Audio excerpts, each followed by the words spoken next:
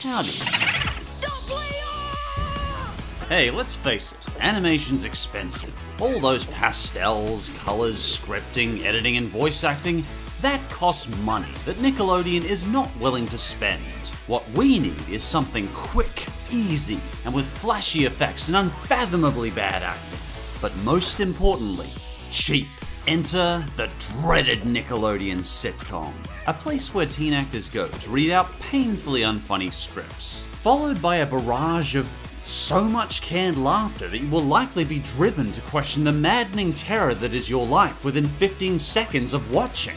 And of course, all actors are contracted to give the absolute worst acting performances of their lives. It takes a special kind of awful to make this list. The Nickelodeon sitcom generally has to be of such cataclysmically poor quality that it somehow lowers the quality of life of the viewers watching and any teenagers acting in it. While there has occasionally been some Nick sitcoms over the years that have brought us memorable, endearing, unique characters with some relatable teen stories. These mostly consist of, well, Drake and Josh, Victorious and iCarly. So let's check out the top 6 worst modern Nickelodeon sitcoms. If the Nickelodeon sitcom is made after 2010, it's allowed on the list. And to keep things fresh, I'll be excluding all the Nick sitcoms I've talked about before. And to any actors of these shows, please understand I'm not criticizing you as a person, just the shows you're acting in.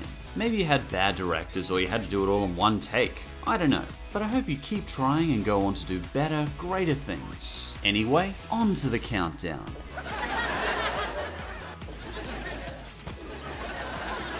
Nicky, Ricky, Dicky, and Dawn. Okay, seriously, what kind of horrible parent names their kid Dicky? That's like an even worse name for your child than Nigel. Now, you may claim I'm a complete jerk for making fun of sitcoms with child actors, and, well, you're probably right. But the acting from these kids is just so mind-blowingly terrible. It's like watching a friend's son daughter school play, except rather than reciting the Declaration of Independence, all the kids are yelling and trying to be funny at the same time. You may want to smile, but you're so enveloped by a sea of awkwardness that all you can do is count down the minutes until this cruel and unusual torture is over. So the story is, is that these four kids are troublemaking quadruplets. And that's it, really. Most of the time, we're watching these 11 year olds awkwardly spout poorly written dialogue and get up to incredible antics like throwing foam at each other. Would anyone beyond a 7 year old actually laugh at throwing foam. There's no comedy timing to it, there's no cleverness to it, it's just throwing foam. And occasionally, if you're really lucky, you might get a scene of a building for a few seconds not trying to act, and they are sweet, sweet moments of peace from the torture. Now, I know they're only kids, but surely, surely child actors don't all have to overact so badly that you feel like gnawing your own arm off within 20 seconds of their performance. Sounds like quality family time to me. Am I right?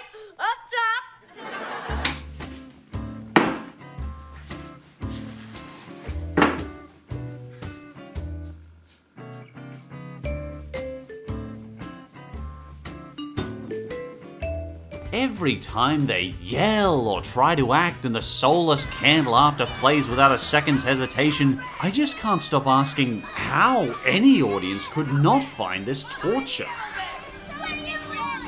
Despite Nicky, Ricky, Dicky, and Dawn being among the worst Nick sitcom acting I've ever seen, this one's at the start of the list because, well, they're only kids. Game Shakers. Game Shakers is well remembered by many for being a milestone in the downfall of Dan Schneider's career. It's not as offensively bad as some of the others, but Schneider's original comedic timing is gone, and the characters, as hard as they're trying, just don't have that former Schneider memorability. As for positives, well, the acting's better than Nicky, Ricky, Dicky, and Dawn? Though I suppose that's like saying a searing oven's cooler than an inferno. If exposed to either, both are still likely to leave permanent damage. Game Shakers honestly feels like a cut down, inferior version of iCarly. And that's the problem with this one. The skits and scenes all feel rehashed and leave no impact. I watched the first few episodes twice and I can barely remember anything beyond a kid rolling around in peanut butter and a rapper jumping on a trampoline.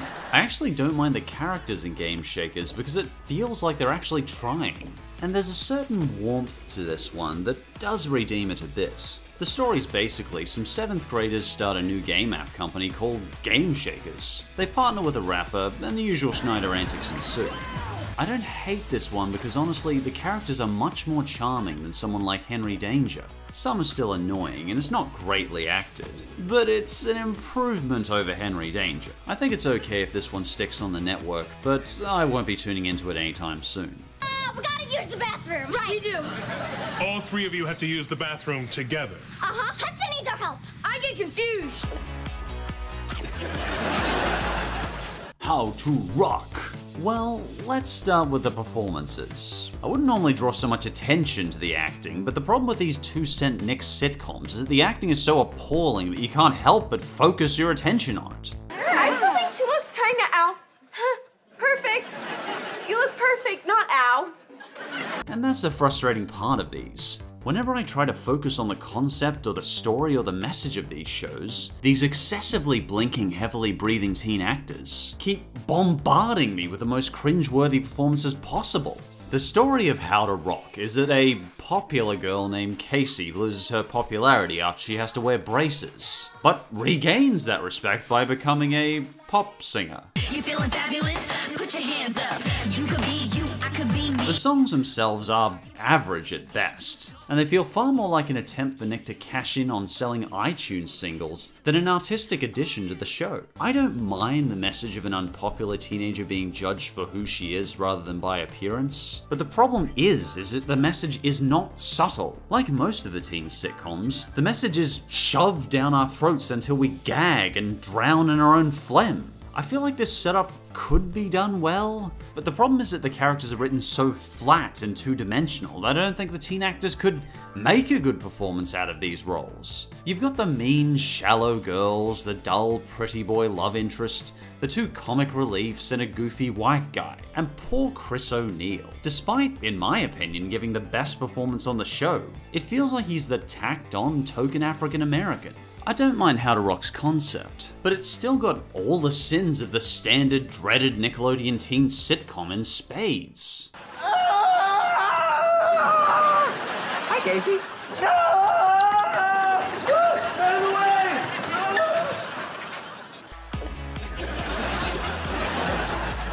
Bella and the Bulldogs. There's little about Bella and the Bulldogs that doesn't fit into a has-been stereotype show. Bella leaves the cheerleaders and joins the football team and what a shock, because she is a girl. Will the football team accept her? Haven't we kind of got past this? Weren't female footballers only unusual in the 90s maybe? And like any terrible Nick sitcom, the laugh track of course lingers like a bad smell. So excited for this week! Seriously, what was funny about that? Was there any valid reason to have the laugh track there at all? So excited for this week! It wasn't even a well delivered line. Again, the acting's still marginally better than Ricky. But what bothers me so much is the way the show continually slams its weak girl empowerment message into your face with no room for subtlety. And she's gonna bat her eyelashes and tug at your heartstrings the way that you females are so good at.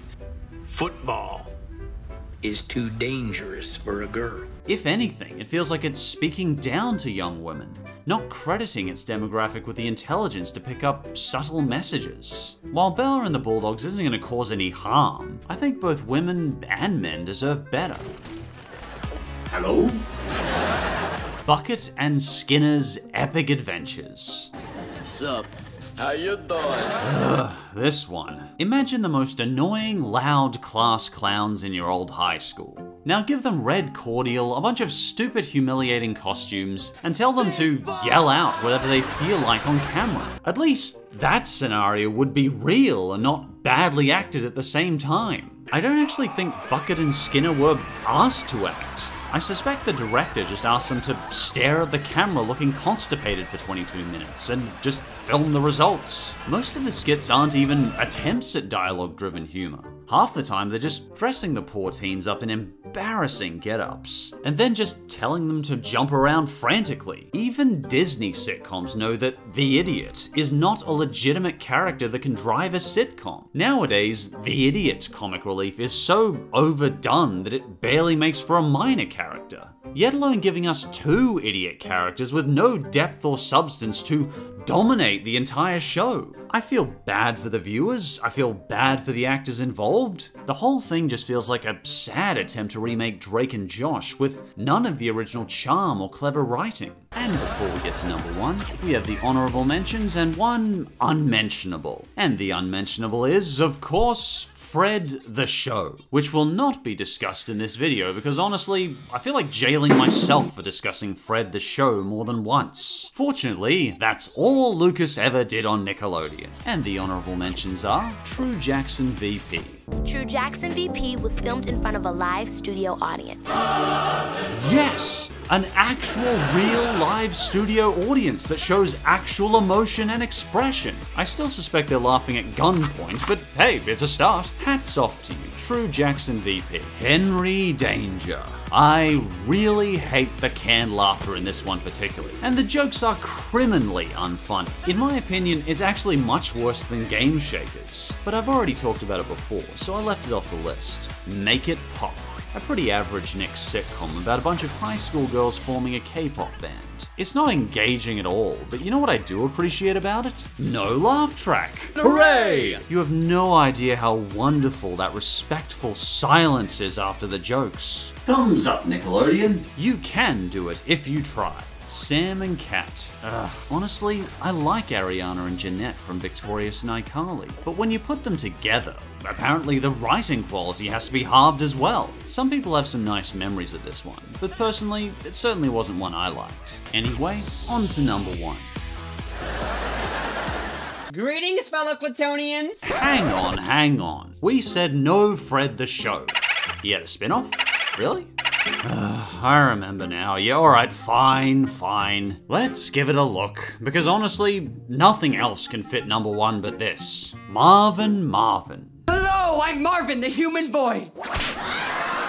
I've got to slow down a bit with this one because, well, maybe it'd be more entertaining for me to launch into a tirade about how terrible, obnoxious, self adulating, and stupid this show is. And don't get me wrong, it's all those things and more. But honestly, the main problem with trying to review this one is every time I try to watch an episode, within 30 seconds I feel deep revulsion, emotional exhaustion, and have lost some of my faith in the future of children's entertainment. This show just saddens me that it ever existed, though I'm comforted at least it was cancelled within the first season. You see, there's this big void within a part of Nickelodeon's reputation, a void that is far greater than the absolute worst of SpongeBob, the worst of Fairly Odd Parents, and a void even greater than any of the other Nick sitcoms. The worst of these shows are all supreme compared to the empty, vapid, pointless existence of Marvin Marvin. It's like Lucas's entire presence on Nickelodeon tapped into this primal side of the child viewer's brain. He screamed, pranced around, bathed in the glory he got for all his popularity with children, and essentially combined the worst of Nick's sitcom tropes with the worst of YouTube. And what we ended up getting was something so ugly, pandering, and stupid to watch that I honestly can't summon up the enthusiasm to tear it apart. So I hope you don't mind if I'm a little more mellow for this one. I think Lucas's continued popularity has finally broken me a little. It's not the size of your audience that matters. What matters is each individual you affect. So let's chill and take a brief look at this pile of dumpster trash together. So the story is Marvin is a 580 year old teenage alien from planet Clutoon. He has superpowers, including the ability to freeze, shape, shift, float. Hell, why don't we just call him Lucas Jesus? Lucas Jesus has been sent down to Earth by his parents for protection. It's like E.T., but everyone wants the alien dead. Aside from Marvin Marvin being dominated by one of the most annoying personalities on the internet, Good one, up top. it also manages to have the worst writing of all of Nickelodeon. The jokes rely mostly on potty humor, vomiting, burping, and Lucas talking about his butt. I mean, I know there are kids out there who like this me first self indulgent mentality of Lucas, but for the most part, I think Nickelodeon should lead the way in offering smarter, more creative children's entertainment. And to be honest, in recent years, I think Nickelodeon's trying to do that more. Because the top three airing shows on Nickelodeon are SpongeBob, Loud House, and Paw Patrol. They make up a good 60% of Nickelodeon's current lineup, and I consider all three of these quality cartoons. And it's good to see young actors at least getting a shot at shining. Some young viewers just care about seeing something kinda relatable, and the morals of most of these shows are fine, so at least it's not teaching kids anything bad. And if you were an actor in one of these shows, good on you for trying. I hope you keep practicing and go on to better, greater things. And as always, thanks for watching, and I'll see you next time.